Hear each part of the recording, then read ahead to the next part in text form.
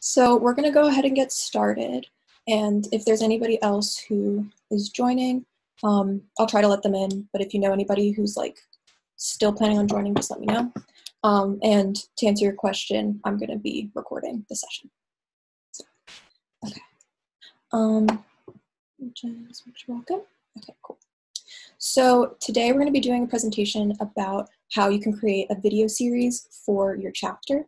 Um, now, uh, my chapter, Montclair High School Democrats, uh, created a video series called the Youth in Politics series, uh, which we used to educate our town about um, our municipal candidates. So today we're going to be kind of talking about how that can work for you um, so that you can make your own video series. And we made our video series while we were on socially distancing. So it's definitely possible to do it online. You don't have to have, be in person to create a video series. So, a little bit about me. I'm Maggie. Uh, I was recently elected president of the Montclair High School Democrats. And outside of school, um, I'm the director of In Harmony Montclair, which is a nonprofit group run by teens and tweens. And we organize benefit concerts and other events to raise money for charities. And uh, as a part of that, this summer, we've been creating videos about um, about what's happening with our benefit concert because it's going to be online this year. So the process that I'm going to show you today can't is not just used for like making videos that have to do with politics, but can also be used for making videos about other things. So it doesn't have to be political to use the process that I'm showing today. And I've also used uh, professional editing software for several years. Um, I've used it since like late elementary school, so I've had a lot of experience with editing and putting together videos. So everything I'm going to be talking about today are things that I've used in the past, not just for this project. So a little bit about our series. Um, so it's called the Youth and Politics series. Um, back in like January, February, we knew that our municipal election was coming up in May. And uh, where I live, Montclair, New Jersey, is very politically active, but not a lot of people vote in our municipal elections or are involved in our municipal politics. So we decided we wanted to have a forum so that we could educate people about uh, those who are running for office but we had to change it once we moved to online school. And then that's when we were decided to make it a video series um, partially because i've already had some video editing experience from the past so it made sense that we would turn it into a video series online. Um, so we had an intro video which explained the series and then we had um, videos about the candidates um, so that people could watch videos about specific um, the specific election so that's a little bit about our series. And also, if you have any questions as I go through, feel free to put them in the chat box. Um, I might answer some of them as we go, and other ones I'll answer at the end. So the purpose of today is to show that it's possible to create a video series while we're still socially distant and doing things online. Um, so this presentation is going to be focusing on like uh, one video and like our video series, but this whole process can be used for any of your own video projects inside or outside of DEMS. And another thing is that we're going to have a workshop tonight at 7 p.m. and we're actually going to go through this whole process and create our own video about like Summit and stuff like that. So if you're interested in being a part of that, that's tonight at 7 p.m. and we're going to go through everything and I'll do a demo of how to edit um, online and all of that. So these are a few sample video projects that you could do for your own chapter. Um, so you could do something like a promo video, um, videos about candidates, interviewing. One thing that we did that worked really well was for each question, we had one of our members um, uh, asking the question. So whenever some a candidate was asked about COVID-19, for example, we would have the same clip of one of our board members asking that question and it'll make sense when I show you one of the videos later. Um, but basically, it was a great way to get more of our like board members involved with it as well. And there's many different possibilities. This is a few different things. And one thing to make sure you know is if you are doing videos about candidates, you have to be very specific about the guidelines you give them and be careful about editing any of their footage because if you edit some of their footage, it can come off as being a bias. So it's a bit harder when you're doing candidate videos because you just have to make sure that they send things correctly so that you don't edit it really, um, or else someone could say that you're biased in some way. And real quick, if you have like the little reactions, if you can give me a thumbs up if you have some video editing experience, I just, or like video experience, I'm trying to just suss out like where people are. Okay, cool. Um, and then you can put them down and if, give me a thumbs up if this, you're coming from like no experience, you're just learning about it today. Okay. Sounds good. So we have a mix of uh, where people are at. So I'll definitely uh, make sure to explain things specifically, but either way, even if you have some video editing experience, hopefully you can still get stuff out of it as well in terms of the process. So we're going to be uh, going through the process that we used for MHS Democrats when we did the Youth and Politics series. So for each step, we'll go through what uh, MHS Democrats did. So these are the steps that we followed for the video creation process. So I'll give everyone a second, like if anybody wants to take a picture of it, I'm gonna be going through each specific step, um, but these are the eight steps that we're gonna be focusing on. Um, and later tonight when we have the workshop, we're also gonna be going through these eight steps for making our own video.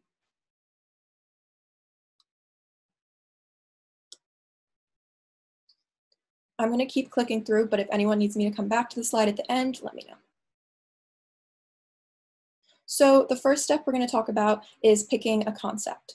So you need to consider your audience when you're doing that and what the purpose of your video is. Um, you want to make sure that when you pick a concept, you know that as the first thing you're doing so that it can help you figure out the timeline and uh, whatever you're going to be doing for the rest of your videos. So for us, our purpose was to educate voters on the upcoming municipal election through the lens of youth involvement. And so we wanted to focus on issues that we cared about as high schoolers. Um, and so that was a big thing is making sure that what made our forum different than like other ones was that it was a focus on um, issues that mattered to youth and uh, having high schoolers being a part of it. And one thing to note, just as I'm going through this, is you'll see this a few different places. Our forum was originally supposed to be in person, but then changed to being a video series online when we moved to distance learning. Uh, this works the same for having just a video series right off the bat, but in case you're wondering, that's why you might see some things that have like an address or things mentioning that it is in person. So this is a quote from one of our um, posts about what our goal of the project would be. Um, so it's basically talking about how we the election is nonpartisan. So we wanted to um, we didn't uh, endorse any candidates. That's one thing that was really important is um, knowing our audience. We didn't want to show any we didn't want to have any biases so that's one thing that's really important when if you're doing something like a municipal election is you don't want to endorse any candidates or else it'll just come off that you're trying to support this one candidate. Although it is different for the 2020 election, because obviously we're Democrats, so that's a bit different. Um, but you can see we're talking about um, interviewing about candidates' policies um, and focus on youth involvement. So it's really important to know what your goal is when you're going into it and who your audience is. So for us, it was reaching voters. So the second step is to make a timeline. So you want to think about if it's for a specific event or a specific election. For us, it was for our municipal election, which was in May, but the election was vote by mail. So basically, we had to make sure that what we were doing um, would be ready by the first day that people could vote by mail. Um, so that pushed back our timeline a lot. So originally it would seem like, oh, we can have it out in May, but we actually would need it to come out like about a month earlier because there was such a long time that people could vote by mail and we wanted it to have the biggest impact. So for our timeline, we started like January, February with the forum, and then in March it was moved online, and then we posted things in April.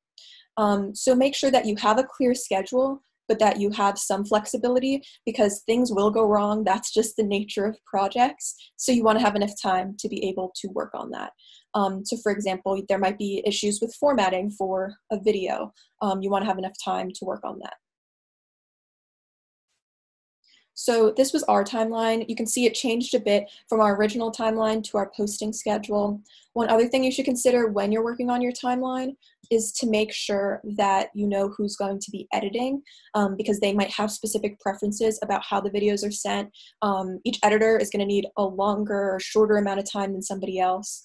So for one person where it might just take a couple days to edit, it could take someone a week to edit. So you want to make sure that you are talking with them so that you have an idea of um, how long you need to give for editing. Also, at any point, if you have any questions, like I said, you can put them in the chat. I'll answer some as I go and some at the end. So the third step is writing your script and or questions depending on what your video or video series is. And your script, it doesn't have to be anything crazy. We just had it as a shared document. Um, if you're writing questions for candidates or you're interviewing an activist, you can use it as a chance for community outreach, which I'll touch upon in just a second. So this was our intro script. You can see we had the main points that we wanted to hit. We wanted to talk about introducing HSDA. Um, Montclair High School Democrats just started this past school year, so not a lot of people knew about us. So we wanted to um, make sure people knew what we were doing, what HSDA is, in case they didn't know, um, explaining the video series, and that we're changing to online for our forum, and explaining the election because we Montclair wasn't used to doing like vote by mail for across the board, so we wanted to explain that, and then of course reminding people to vote. So this is what we wrote out for our script. It didn't take too long to do. Um, it worked pretty well, and then basically we would have each person uh, read off of their script or memorize the script when recording their clips. So, like I said, it doesn't have to be anything crazy. You don't have to use like a professional like script software. You can just use like a Google Doc. So this is how we used um, this as outreach. Basically, we put on the right, you can see that for the Youth and Politics Forum, now this was back when it was in person, but we still had it open for people even when it was online, that they could email us or fill out a Google form with any questions that they wanted asked. So this was a way for more people to know that the event was happening, and it's a way of having publicity before you're getting to publicity. Um, so for us on the right, you can see this was in the Montclair Local, so our local paper, and so people would know about the forum happening even before um, the videos were posted. So the fourth step is to film. Now there are two main options. The first one is to have people film their own clips and then someone edits them together. The second option would be to film on Zoom. So here's a little bit about both of the filming methods. For filming separate clips, it's good if you're doing a promo video, if you're trying to share information, but it can be hard because you want to make sure that everybody films in the same way. For example, let's say everyone's filming horizontally, then if somebody doesn't, then you have to tell them you filmed it wrong and then they have to go back and refilm it, and it can be a longer process. Versus on Zoom, if you're interviewing someone, and their lighting's really bad, you can just tell them to move. Um, so there's more, you can change things in real time. And Zoom can be harder to edit. For example, if it's on speaker view, I might be speaking, but somebody else is was just finished speaking, and so it's still focusing on them instead of me. So it can be harder to edit and be annoying in that way. One thing that um, has been done before, which I did for In Harmony Montclair, was one person records on Zoom on gallery view and the other person records on speaker view, and then you edit them together. But then that gets very complex. So if you're someone here who's a little bit more advanced in um, video editing, then that's something I'd recommend because it comes off very polished. But if you're get, just getting started, I would recommend just doing gallery view or just doing speaker view. And speaker view is better if you're just interviewing one person, and gallery view is better if you're having like a group discussion or you're interviewing multiple people. So some tips for filming. Um, you want to film horizontally, so that's just like filming this way, um, versus vertically. And so horizontally is better for YouTube. It's usually better overall just because um, horizontally fills the whole screen on a phone, uh, on a laptop, on the most different devices. Vertically is better though for Instagram TV or TikTok where they favor things being filmed vertically. So you just want to consider what your purpose is and who your target audience is when you're figuring out which way you want to film. You do need to make sure to have good lighting and be aware of any sounds in the background um, because you might not realize that your air conditioning is really loud. So always make sure that you listen to your clip after you record it to make sure that everything sounds good and looks good um, before you send it. And I'll be talking about WeTransfer in a couple minutes, but that's a way that you can transfer files online, but they do have to be sent from a computer or laptop. You cannot send files from a phone or a tablet or else you're going to get into some issues. Uh, the other thing is to give specific directions. Um, so if you want it filmed horizontally, make sure everybody knows that. Um, if you want it everyone's to be 30 seconds or less, make sure to do that. So that's what we did with candidates is we said you have four minutes, you have eight minutes, like we gave them a time constraint so that um, if they did go over, that's the only time we'd be allowed to edit. And even then we'd be talking to them about it because you don't want to seem like you have any biases and that you're giving three minutes to one person but eight minutes to another. So that's one thing to consider if you're doing it for candidates or something like that where you don't want to seem like you have a bias. And then the other thing, I had mentioned it before, is just speaker, speaker view versus gallery view on Zoom. Speaker view is better if you're interviewing one person, gallery view is better if it's some sort of like group discussion. So in terms of how we filmed, for our intro video, which I'll be showing later today, uh, we used separate clips and everybody filmed on their phones and sent it to me and I edited it together. Um, but for candidates, they recorded and they sent separate clips, except for one candidate, which we who we interviewed on Zoom, and we used speaker view since we were just interviewing her. So the fifth step is to transfer your footage, which can be a very annoying process, but obviously much needed because uh, if 10 people have clips but they can't get it to you, then you don't have a full video.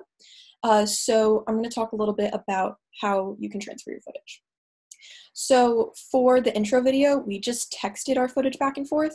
And also when we had um, each of our member or each of our board members recording questions, we also had them just like text back and forth because they were only like 30 seconds long, so very short. But if it's any, going to be anything longer, then I recommend using WeTransfer which, like I said, it's a free website you can use to send files, and it's free up to two gigabytes. So I'm going to show you for just a second what that looks like. So this is WeTransfer. Basically, you just put in whoever you're emailing it to, um, your email. You can put a message if you're saying like, this is my file for the video project for getting out the vote, so they know what it is. Um, and then you can select your file from your desktop. So that's what WeTransfer looks like and it's free up until two gigabytes. And I found that it's very fast to upload, so that's why I recommend it. But if you're more familiar with something like Google Drive or Dropbox, those also work. So the sixth step is editing, and it's how the whole project comes together. But you don't have to be an experienced editor for it to come together well. So a little bit about some different editing software iMovie is free on Apple products, so I know a lot of people have Apple products, so that's what I recommend. And later tonight at the workshop, if you don't know how to use iMovie, I am going to be showing how to use iMovie when we actually edit a video. Um, and even if you're more experienced, you can totally come to the workshop and help people learn more about videos. Uh, and Final Cut and Adobe Premiere are the two industry standards. That's the ones that are the two big uh, different editing software. Uh, but it's going to be more than you need if you're just getting started with video editing. Uh, I personally use Final Cut. Um, I really like it, but one thing that's really nice is if you start with iMovie, iMovie is very similar to Final Cut. Final Cut is just like the more advanced version. So if you get started on iMovie, then you can learn there, and then after you get good at it, you can go and work on Final Cut.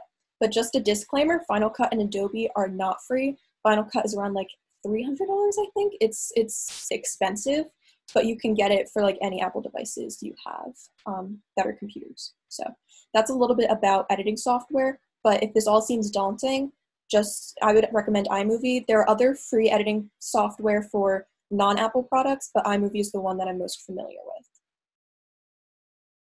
So now you might not think music is a huge part of videos, but that's kind of what sets the tone for the video. So a few different ways you can have free music.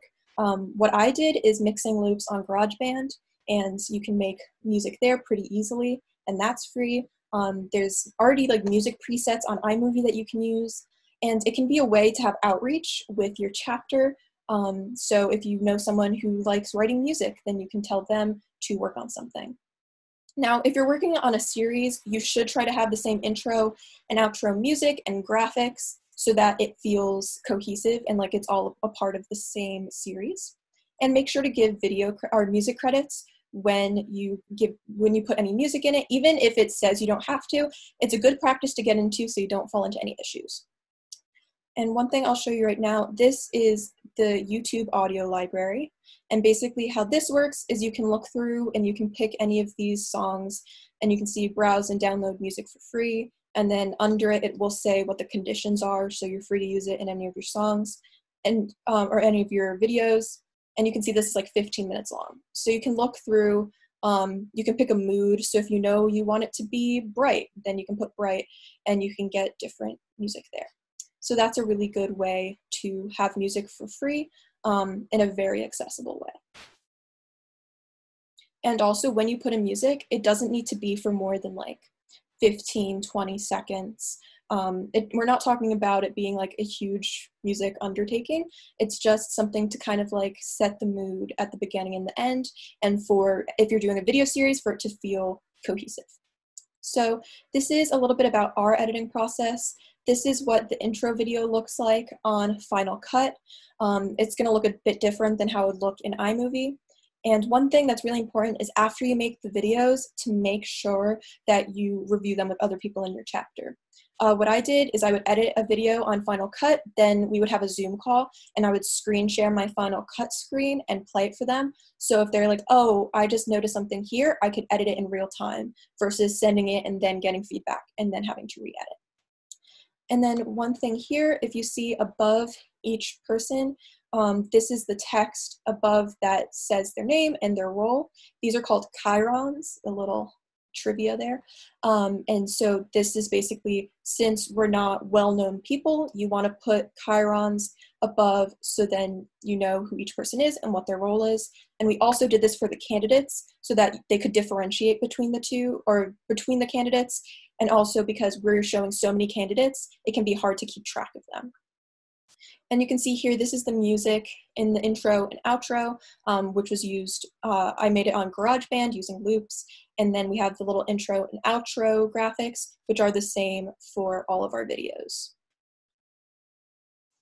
So the seventh step is to publish your video. Now you should consider your audience again, because you don't want to put something that's targeted for an older audience on TikTok. I'm guessing a lot of grandmas aren't on TikTok, so you're not going to reach the most people there. So you want to think about where they're looking for their content and publish your video on there. So these are a few different options for where you could post your videos. Um, like I said, you want to consider your audience, where they look for content, and think about where your chapter already has a following for us, we already had a following on Instagram, but we actually decided to post it on YouTube for it to be the most accessible. So just because you have the most following on one place doesn't mean you have to post it there, but you should just weigh your options for where your audience is looking for content and where you have a following. And if those coincide, then that answers your question. But if one's more important than the other, then you can post it there but also don't think that you just have to post one place. What we did is our main videos were published on YouTube, but then we also had like clips on our Instagram. So you can use Instagram or whatever other social media platform to bring viewers over to wherever your main place is that you published. And I've mentioned this, but just make sure to remember the purpose of your video or videos. If your purpose is to educate voters, then you want it in an accessible place for the most voters. If your purpose is to get a message across and for it to go viral, then putting it on Instagram so people can repost it on their stories might make more sense. So just make sure to know your audience, the purpose of your videos, and where you already have a following when you're figuring out where you're going to be posting. So I mentioned this a bit already, but for our strategy, our target audience was voters, and we didn't have a following on YouTube, but it made sense because that's where our target audience could uh, access videos most easily. Also, one thing to consider if you do a video and then you do another video project, try to use the same platform so you can continue to build that platform. For example, we got subscribers because of our series, so if we posted another series, we'd most likely also do it on YouTube because we already have a following. And that's something that we've also been doing for In Harmony Montclair. For the Harmony concert, we're posting videos ahead of time because our show is going to be streamed on YouTube. So we're gaining subscribers before our big event so that when our big event comes, people will already be following it and will see it. So the eighth step is publicity, and this is where it all comes together. So you have your video, you have it up, but now you need to get people to see it. So you want to build momentum in as many ways as possible. Um, think about where people who are who are your target audience are going to be looking for information. For us, a lot of people go on Facebook groups in Montclair, so we posted in some Facebook groups to encourage community members to take a look. You can also post on your own social media, um, emailing friends and family. What we did is we also emailed teachers so that any of our high school teachers would also know about it. Um, so then it can spread from there. And uh, digital word of mouth is something that's really important. So you, that could be emailing, that could be posting on your story, and then more people posting from there. Um, even texting people and saying, hey, I just made this video project if you can check it out. Just make sure you can reach your audience in as many ways as possible. And also, a big thing is reaching out to your local newspaper, local media, and you don't have to do anything crazy. If you just email them with key information, that's usually enough for them to at least know about it happening. And then, if they need more information from there, at least then you have that contact made. So these are two examples of what we had for publicity. So on the right, you can see this is our local paper, the Montclair Local, and they did an interview with us on Zoom, and we had like that article, and then it's also um, online, so that was really helpful. And then on the left is BaristaNet, and they also um, posted about our video series. And one thing that was really helpful, if you're able to have your local paper do that, if they're also online, is they linked to one of our videos. And our most viewed video was the one that was attached to their article. So that's one thing that's really great is if you can get other groups to link to it, then that helps drive viewers over to your page. So I'm going to show you guys the intro video, just so you know, the audio is not going to be good because of Zoom. Zoom audio quality is really bad, but if I will put the link to our channel in the chat box. So if you want to see it on your own time with the good audio and visuals and everything, I highly recommend that. It won't be the same quality through Zoom, but at least you can see how it came together.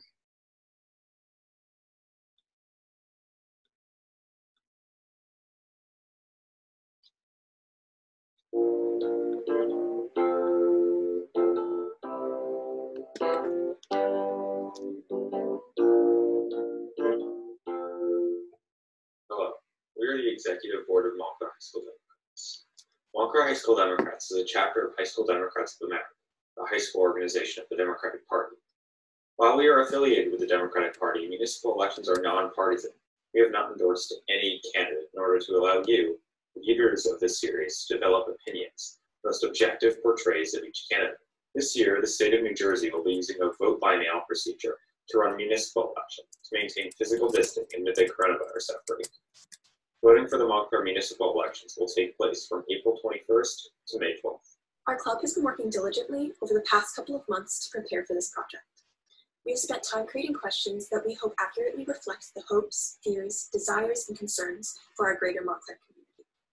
Every single member of the Montclair High School Democrats deserves credit for all of the hard work they've put into this project. Our goal with this video series is to help you, the Montclair community, learn more about the candidates for municipal office. With the importance of youth involvement in politics in mind, we will be asking the candidates various questions about their policy positions on issues relevant to Montclair, such as affordable housing, climate change, and the COVID 19 pandemic, among other topics. We will be releasing videos ahead of the election. This year, the municipal election will be done through vote by mail ballots. Voting will start on April 21st and end May 12th. We hope that these videos will serve as a way for you to learn more about the candidates and make an educated decision on who you would like to vote for this election. During this uncertain time, the most important thing is to make your voice heard. Don't forget to vote. Don't forget to vote. Don't forget to vote.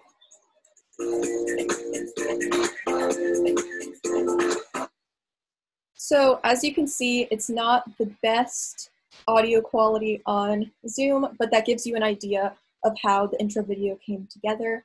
And one thing was that's how we got started, and then we worked on improving video quality throughout the series. Um, so working on things like making sure that we're not uh, backlit, that we have the lighting the right way, that we listen for any background noises. So it's okay for if your video isn't perfect, it doesn't need to be perfect to go up. Um, just make sure that it's a learning process and you learn as you keep going. So I'm going to be showing you a few clips from our councilor at large video, um, but because you're not going to be able to hear it that well, I'm going to just be talking you through a bit of some of the thinking that we had behind how the video was made.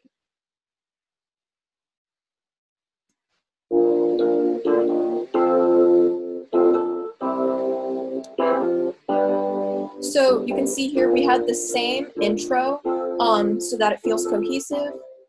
And then at the beginning of each video, we had the names of all of the candidates so that people would know who they were about to see.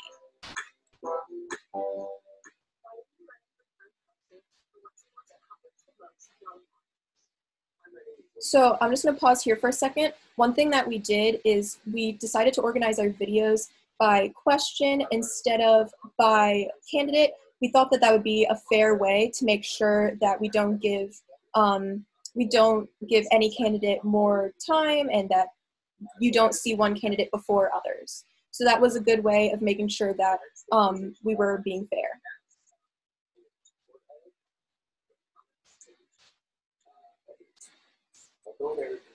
And so this is another example of how we had board members recording each of the questions that were being asked as a way to get people to participate and also to make sure that people saw that the focus was on youth and politics and it wasn't just about the candidates, it was about youth involvement as well.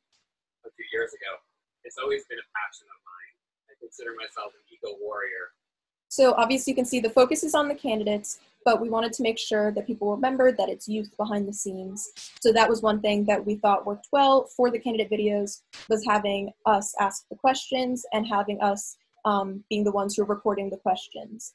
And one thing that helps editing wise is that we made sure that, um, let's say one person recorded a question about COVID-19, any candidates that answered the COVID-19 question would have that same clip beforehand. So if I recorded a question asking about COVID-19 and the first ward and second ward candidates both answered that question, that video clip could be used for both videos. So it made it easier that we didn't have a million clips running around. We had a few clips that we could use for the questions that were being asked across the board. And you can see we had the same little outro here, um, made sure to connect to the next video. And you can see here with the thumbnail, it's the same um, background. Um, so we have the same intro for all of the videos so that feels cohesive.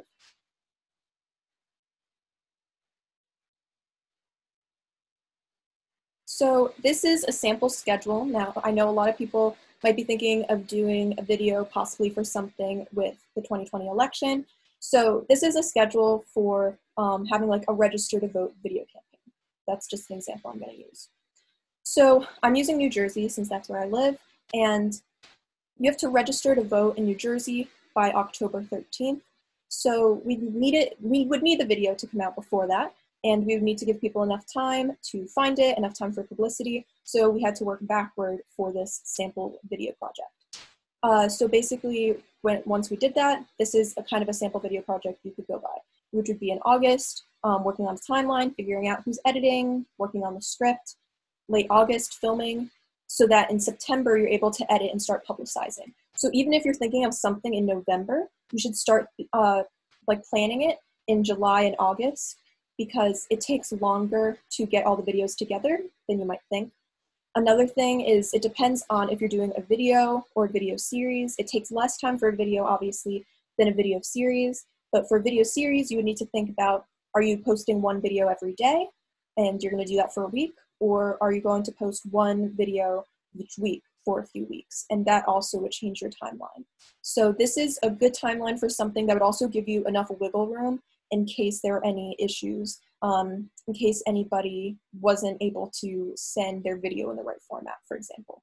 So this is like a sample timeline that you could use. Um, if anyone wants to take a picture of it, feel free. I'll leave it up there for just a second um, if anyone wants a picture of it, and then I can also bring it back up at the end if anybody needs. Um, but basically, when you're thinking about videos, you want to make sure that you give yourself enough time for that if something doesn't go right, you can fix it and still stay on schedule while still being flexible about it. And especially if you're just getting started, um, you want to give yourself more time than you think because if you're ahead of schedule, that's great. Um, but if you're behind schedule, you want to be able to have that time. And if you haven't used iMovie before, um, there's a lot of videos on YouTube with tutorials. So it's very user friendly as well. It's easy to just drag things in and use a lot of presets if you don't have any experience. Um, but later tonight, I'll also be showing a brief demo about how to use iMovie if you kind of want to get started. So now I'll take if anybody has any questions about anything. Um, they can be about video editing, video software, anything like that. Um, so if you want to put any questions you have in, into the chat box, I'll give it a second if anybody has any questions. And in the meantime, I'll put the schedule back up in case anybody wants a picture of that.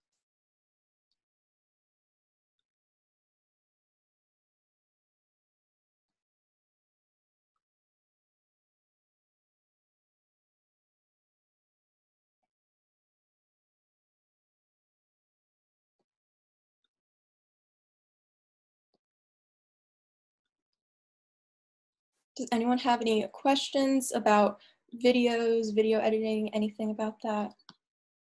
Okay, okay, it's a great question. So uh, how long do you think it will take to get a good level of proficiency? Um, I'm guessing you mean like in terms of like video editing? Um, so basically for video editing, it kind of depends on the person.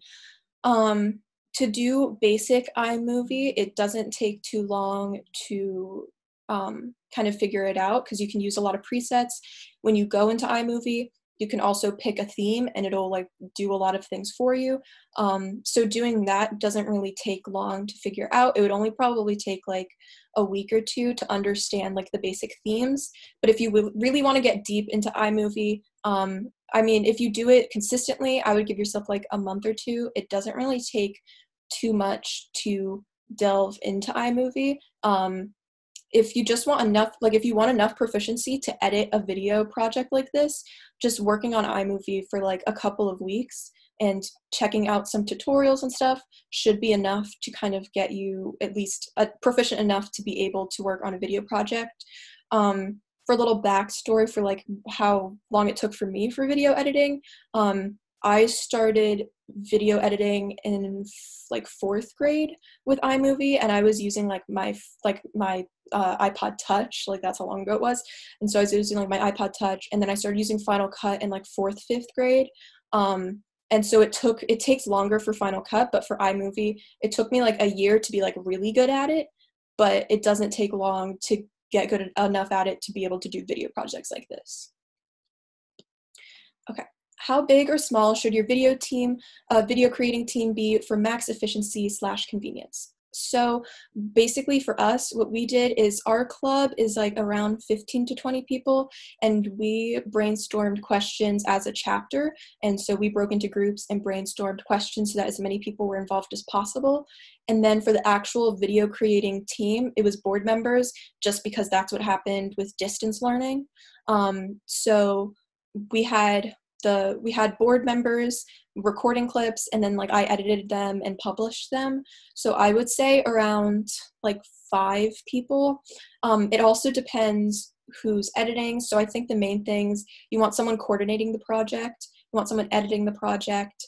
Um, and when I mean coordinating, that would also mean like talking to candidates. And then you want a few people, um, you want someone doing publicity um, and posting on your social media uh, which could be two different people. Like one could be emailing people, like uh, teachers, and then someone else could be like on social media posting.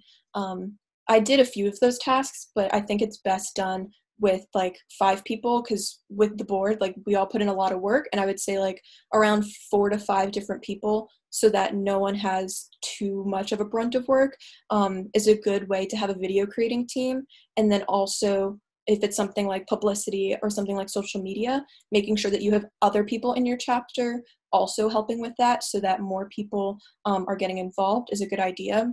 But I would say like four to five people um, is a good kind of like base to have at the center of the project. Are there any other questions? I can ask anything. Yeah, yeah, I have a question. Yeah, go ahead. Um, so what would you say is like your next project? So in terms of stuff for Montclair High School Dems, um, we're planning on doing like a Get Out the Vote campaign in the fall, um, which will probably include videos because um, that's always something that I'm into. So yeah, um, we're going to be doing like Get Out the Vote campaign, like registering to vote, like uh, registering people to vote, that kind of stuff, and then using like videos as a way to do that. Um, because we don't know what it's going to look like in September and who's going to be in school. Um, so videos are a great way to kind of do that, especially leading up to the 2020 election.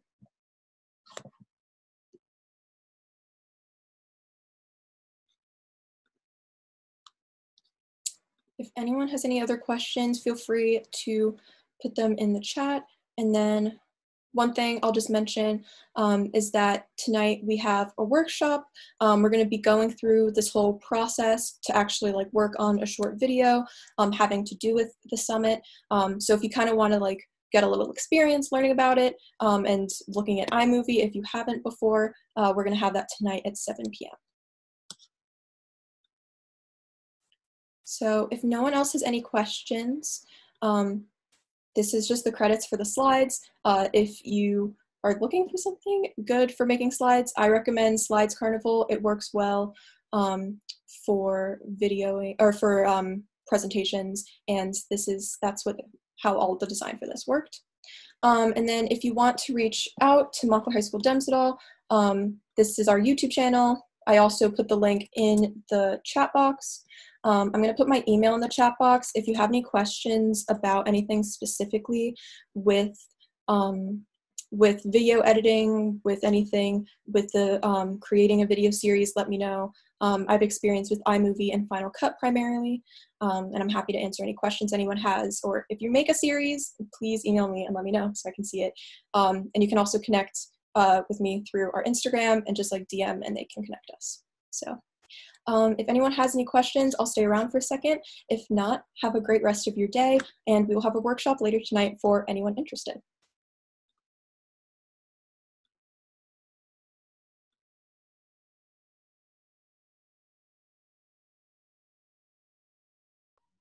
Thank you. Thank you. Thank you.